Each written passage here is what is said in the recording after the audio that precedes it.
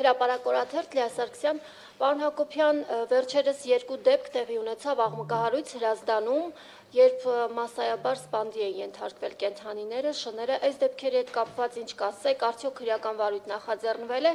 եւ հետեւյալ հարցը, մենք ճանապարհներին հաճախ ենք հանդիպում այսպես ասած վթարի ենթարկված եւ սատկած վիճակում շների վարորդները որոշ դեպքերում գերազանցում են արագությունը որոշ դեպքերում նաեւ այսպես ասած հաշվի չեն առնում կենթանու արկայությունը ճանապարհին եւ նման դեպքեր է ունենում։ Արդյոք հնարավոր է ոստիկանությունը կամ առհասարակ ինչ որ եղանակով մոդել մշակել, որպեսի կենթայիներին սատկացրած վարորդները, քաղաքացիները ինչ որ մի ձև պատժվեն եւ հասկանան, որ պատիժ է սպասվում։ Այս առաջի հարցին պատասխանեմ, որ Հրազդանում տեղի ունեցած դեպքերի վերաբերյալ քրեական վարույթներ նախաձել հանցագործությունները դեռևս բացահայտված չեն, սակայն ձեռնարկվում են համապատասխան միջոցներ, որպեսզի հանցագործություն կատարած անձինք հայտնաբերվեն։ Երկու դեպք ա եղել, մեկը թունավորում, մյուսը կենթանների սպանդա տեղ ունեցել, երկու դեպքով էլ քրեական վարույթ նախաձեռնված է։ Իսկ երկրորդ շրջանակները որոշակիորեն པարզ են, թե դեռ ոչ։ Դեռևս օպերատիվ հետախուզական միջոցառումներ իրականացվում են, չեմ կարող ներկայումս քննության որևէ տվյալ հրապարակել, դա կարող եք դիմել քննչական մարմնի ավելի հստակ տեղեկություններ։ Մեր կողմից այդ երկրորդ հարցի պարոն Հակոբյան նույն հարցի շրջանակում նաև տեղեկություն կար, բողոքներ կային, որ հենց համայնքապետի ցուցումով է դա տեղի ունեցել։ Ուրեմն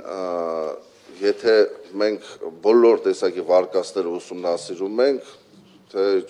չգիտեմ միշտ տեղեկություններ կային համայնքապետ, եթե համայնքի ղեկավարությունը կամ համայնքից որևէ անձ տվյալ հանցագործության մասնակիցն է, ես վստահեցնում եմ ձեզ, որ որևէ մեկը անպատիժ չի մնա, բայց սակայն քանի որ դեռևս հանցագործությունը բացահայտված չէ, ես չեմ կարող ավելորդ մեկնաբանություններ կատարել այդ ուղղությամբ։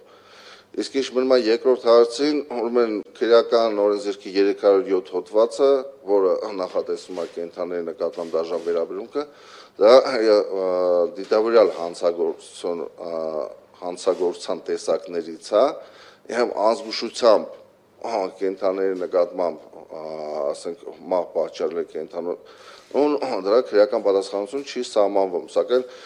գորությունի ճանապարհատրանսպորտային պատահարների մասին կանոնադրություն կար եւ ինչպես նաեւ դրանց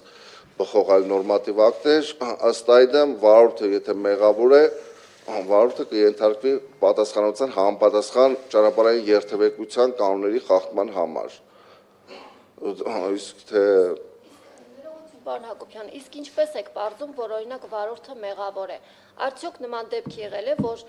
տեսախցիկներով ինչ որ ձևով արձանագրեք, բացահայտեք, որ կոնկրետ վարորդը մեղավոր է եւ դրա համար պատժվել է։ Տիգին Սարգսյան, ուրեմն եթե տվյալ դեպքով մեզի դիմաց է դիմում են, նշանակում է համապատասխան իրավական ընթացակարգ, համապատասխան